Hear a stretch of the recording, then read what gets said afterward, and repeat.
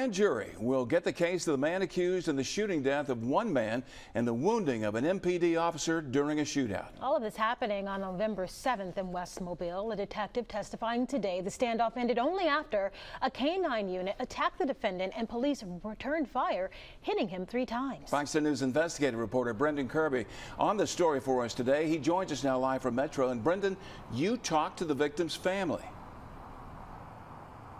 Yeah, that's right. I did, Byron and Lenise, and they had to hear some really difficult testimony, including that the defendant allegedly shot their loved one in the face at close range.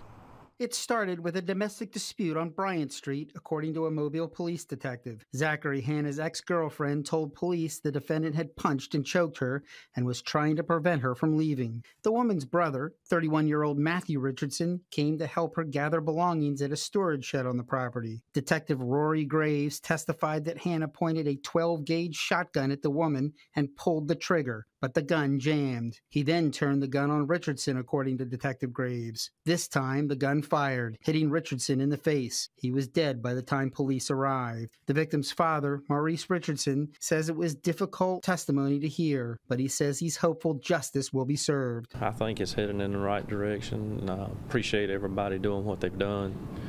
Found out a lot of information about this today that was I guess not brought to light to begin with. According to testimony, the shooting started a chain reaction that included a desperate manhunt that lasted several hours. Hanna ran into the woods and at one point shot a police officer in the legs, according to the testimony. Hanna ran back into the woods. Detective Julius Nettles testified that the defendant pointed the gun at a resident in the neighborhood and threatened to shoot him. Here's surveillance video of that. Officers finally took him down after a shootout in which he suffered three gunshot wounds and bites from a police dog. Richardson's stepmother and stepfather expressing anguish at their loss. It's just heartbreaking to see a life taken like this with a child that doesn't have a father anymore. He finally got him a good job, you know, doing good for himself, and his life took him for no reason. I'm just trying to help his sister.